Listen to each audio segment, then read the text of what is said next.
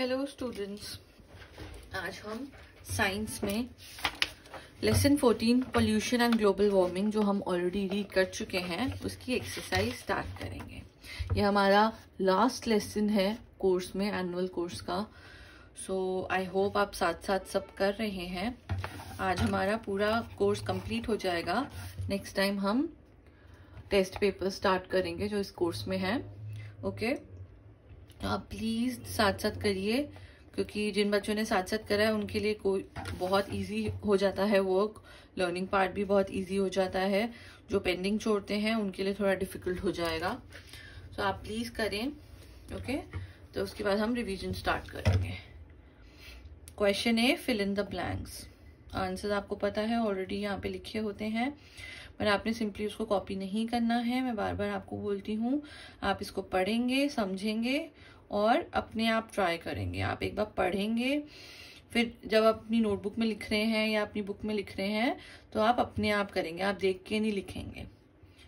The harmful toxic substances that cause pollution जो harmful toxic substances होते हैं, जो पोल्यूशन बनाते हैं उनकी वजह से पोल्यूशन होता है, उसको क्या बोला जाता है? पोल्यूटेंट्स अपनी नोटबुक में लिखेंगे ऐसे अंडरलाइन करेंगे।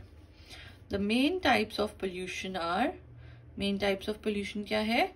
Air soil and water water यहाँ पे ऑलरेडी लिखा हुआ है सो so हम एयर एंड सॉइल लिखेंगे। अगर वाटर नहीं लिखा होता तो हम एयर वाटर सॉइल लिखते।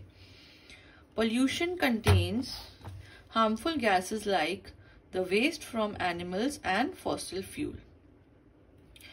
Carbon dioxide is a greenhouse gas आपने ये लर्न करना है। Sewage is water pollutant sewage किस टाइप का पोल्यूशन है? वाटर पोल्यूशन कॉजेज पोल्यूशन की वजह से क्या हो सकता है? ग्लोबल वार्मिंग क्लाइमेट चेंज हमने पढ़ा था ना कल पॉइंट सारे पढ़े थे, जो मैंने आपको बोले थे पॉइंट्स आपने सारे लर्न करने हैं page number one one two में दिए हुए हैं, आपकी बुक के। Next page tick the correct option हमने करेक्ट ऑप्शन टिक करना है। Living and non non living things around us form living और नॉन लिविंग थिंग्स मिलके क्या फॉर्म करते हैं? Natural resource environment pollution environment environment पे टिक करेंगे।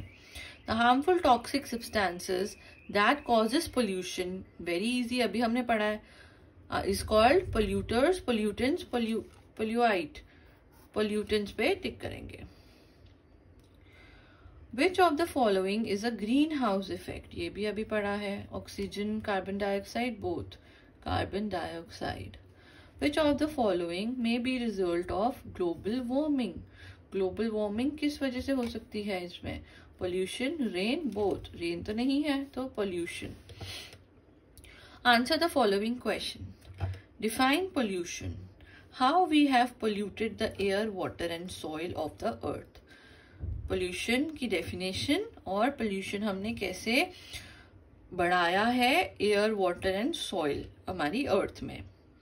The mixing of harmful harmful things in the environment the mixing of harmful things in the environment is called pollution. Full stop. अब ये जो पूछा गया है next part how we have polluted the air air is polluted by the release of harmful gases by vehicles and industries okay air कैसे pollute हुई है? Release of harmful gases जो व्हीकल्स में व्हीकल्स जैसे ज़्यादा पोल्यूशन होता है vehicle से और उसमें जो हार्मफुल गैसेस होती हैं उस वजह से भी बहुत पोल्यूशन होता है। सो so, आप क्या लिखेंगे? Global sorry the mixing of harmful things in the environment is called pollution और फिर air is polluted by the release of harmful gases by vehicle and industries. Next, which human activities are responsible for increasing greenhouse effect? Greenhouse effect किससे होता है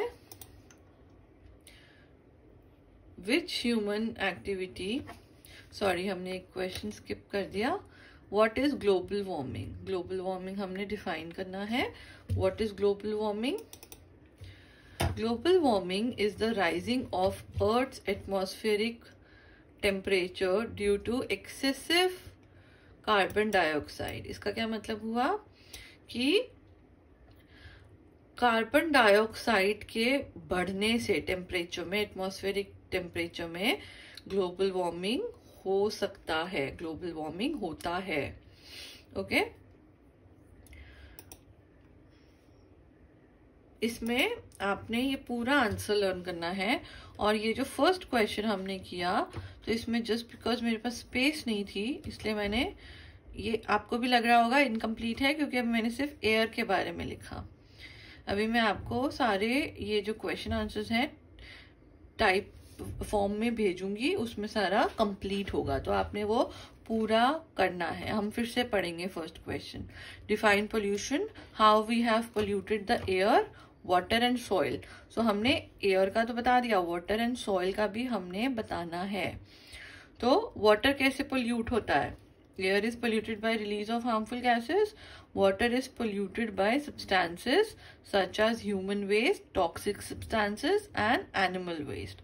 जो water जितना भी waste होता है, जो रिवर और पॉन्ड्स में लोग फेंक देते हैं, और जो इंडस्ट्रीज़ से भी जो आता है, जो एनिमल वेस्ट होता है ह्यूमन वेस्ट होता है, वो सारा पानी में मिलकर वाटर को पोल्यूट कर देता है। और soil dumping of waste and garbage in the soil causes land pollution या सॉइल पोल्यूशन जितना भी गार्बेज और वेस्ट जो होता है, वो सॉइल में मिलकर सॉइल को पोल्यूट कर देता है। Third which human activity are responsible for increasing greenhouse effect numbering डाल के करेंगे। Waste from animals burning of fossil fuel excess use of air conditioners refrigerators etcetera जितने भी इलेक्ट्रॉनिक्स हैं। Using more energy in engineering and power plants what are the effects of global warming global warming के effects क्या हैं? Global warming से क्या हो सकता है? It causes climate change land slide flooding river will dry up tornadoes hurricanes droughts and more natural calamities will occur crops will wither and die तो ये सब हो सकता है ग्लोबल वार्मिंग से। ये इंपॉर्टेंट है, ये सारे क्वेश्चन ही इंपॉर्टेंट हैं। आपने ग्लोबल वार्मिंग पे अच्छे से पढ़ना है ओके तो ये हमने क्वेश्चन एक्सरसाइज करी A B C D D हमारी अभी रहती है right T for true and F for false true false करेंगे।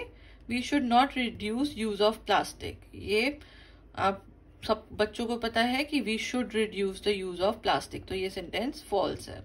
अ ग्रीन हाउस इफ़ेक्ट ये भी फॉल्स है carbon dioxide trees help us help us to clean water true the effect of global warming is very useful false ये पूरी तरह से false है. Is not at all useful it's harmful okay so ये हमने four exercise के questions करे. आपने इसको अच्छे से पढ़ना है, लिखना है, और आंसर्स खुद आप, पहले आप लर्न करेंगे, फिर आंसर्स खुद अपने आप अपनी नोटबुक में लिखेंगे।